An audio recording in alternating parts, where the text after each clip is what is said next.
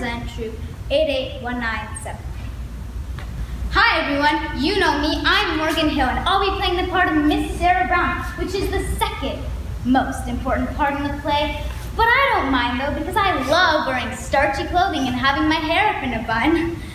Also, awesome, I get to kiss Barry in the show, which I've been looking forward to for a while now, because that's totally what I thought I'd be doing with my life at this point. Not that I'm bitter. I'm not bitter, I love my part. I love singing really high and showing no emotion on stage. By the way, I wanted to do Wicked, which is an incredibly awesome show, and I would have made the best Elphaba ever. Want to hear my audition song? No? Whatever, you're lost. Anyway, apparently we don't have the right to do that show or something, so instead we're doing this show, which is just great, which is just awesome, because instead of flying and using magic, I get to be Miss Sarah Brown, who works for the Salvation Army. The Salvation Army. How much fun is it to work for the Salvation Army and ring that bell? Much more fun than flying and using magic, I can tell you that much. Also, I think this is the year Barry finally learned what deodorant was. So that's a bonus, and I think some of his pimples are clearing out. Double bonus. I can't wait to do this show. I am a team player. Thank you.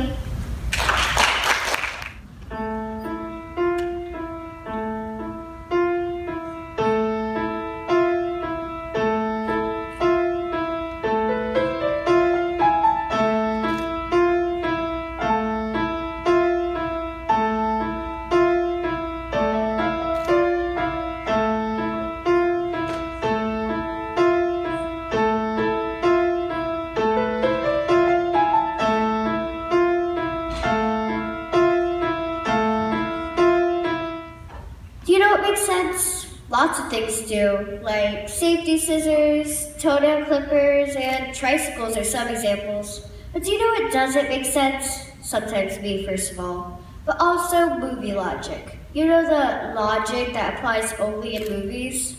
For example, remember the famous Harry Potter? He's a famous cool wizard. He signs up for Quidditch. One game, unfortunately, there was a rogue bludger. Remember that game? Well, that was the game that he also broke his arm. And then the arrogant Gilderoy Lockhart tried to fix it and ended up removing the bones completely. But since it was at Hogwarts, Madame Pomfrey fixed it up with a potion. No big deal, who cares, whatever. But though she could literally replace bones, Harry still needs glasses throughout every film. I mean, seriously, Hogwarts, get your priorities straight. Good for you.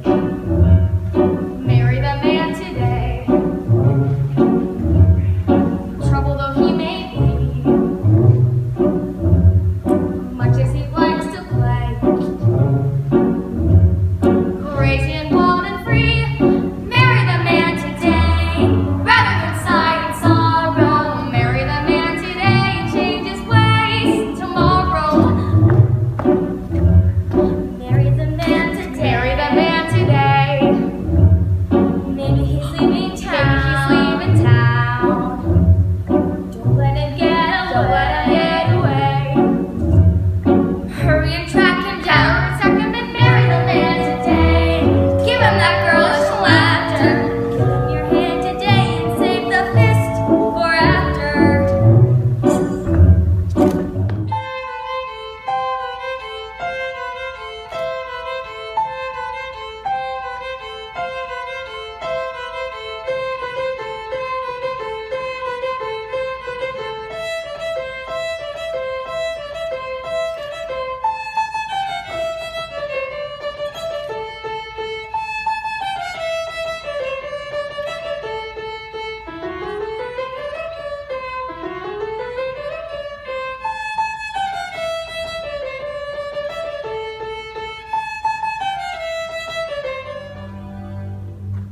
I want the good times back.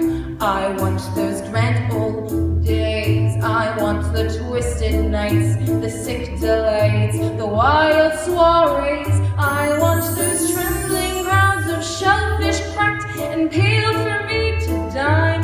Not because I'm mean or selfish. I only want what's mine. I want disgusting wealth. I want exquisite sin. Want the entire sea to worship me on bended fin. I want to greet my loving subjects and then have them as a snack. Remember those good times? I want them back. I cannot believe I let you talk me into this.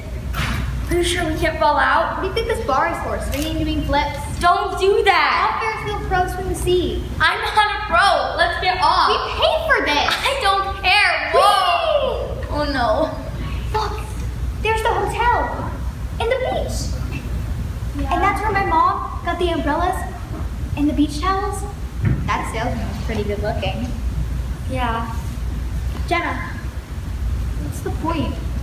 Point of dying 50 feet in the air because you forgot to breathe. Right. Gonna be fine. Look, this is the best part. You're going so high, it's like a mirror image of yourself.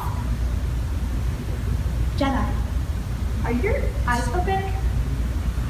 Barely. Come on, take a chance. Look at the big things. Stars, lights. I like stars. Then forget about town. Look up. Okay, wow. It is pretty. Hide my head, I wanna drown my sorrows. No tomorrow, no tomorrow. And I find it kind of funny. I find it kind of sad. The dreams of which I'm dying are the best I've ever had. I find it hard to tell you. I find it hard to say. When the people run in circles, it's a very, very mad